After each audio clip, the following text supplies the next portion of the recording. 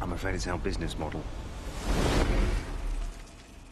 For primitive beings like us, life seems to have only one single purpose gaining time.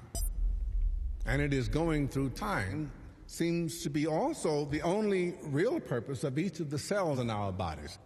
To achieve that aim, the mass of the cells that make up earthworms and human beings has only two solutions be immortal or to reproduce. If its habitat is not sufficiently favorable or nurturing,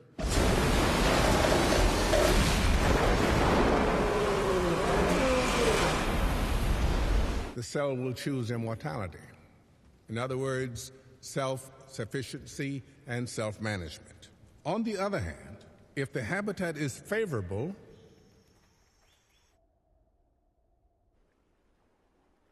they will choose to reproduce.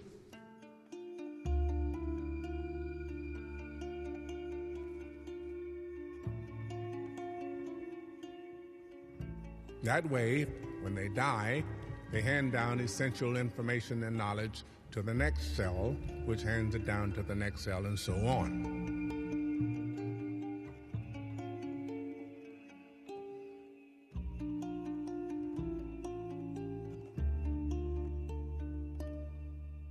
Thus, knowledge and learning are handed down through time.